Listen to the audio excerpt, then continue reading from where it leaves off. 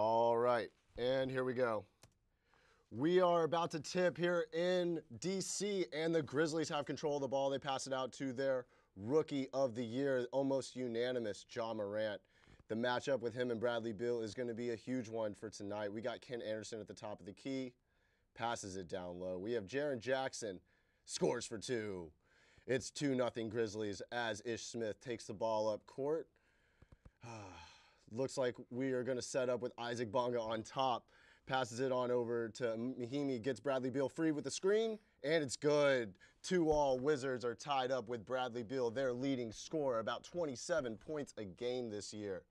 Ja Morant brings it up for the Grizzlies, passing it along, going over, looking at Ken Anderson, passes it to Valanciunas. He's going to set it up up top rolls around to Jaren Jackson's looking to score, goes in the lane, and a foul's called.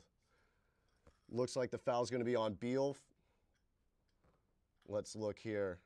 Look at this. J- Jaren Jackson Jr. with the scoop hook. He is absolutely fantastic when he gets down low.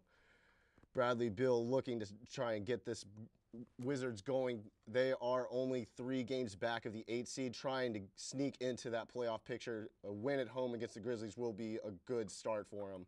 As Valanciunas airballs a three, Rui Hachimura coming on up, looking to score at the key, gets a mid-range shot at the elbow. He loves that spot in the floor. He's always looking to get to the mid-range.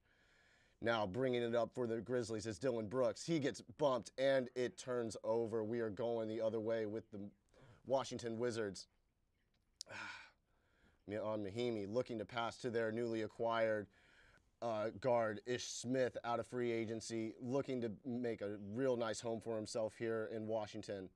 Passing around, sets up for Bradley Beal, going left, looking for the three against Dillon Brooks. Trying to shake, passes it back out. Bonga is going in, turns left. Hachimura and can't connect from three. And there's a battle, Mion Mahinmi and Jaren Jackson going at it. Looks like it's going to be a jump ball situation here.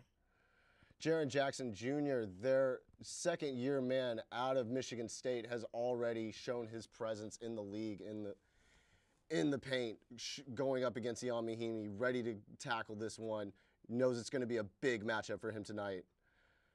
As we get ready to restart play, Wizards up four to two against the Grizzlies with 10:20 left here in the first. Jostling for position and the tip is good. Ja Morant takes it down court, running fast against Hachimura. Lays it, ah, no good for him around the bend.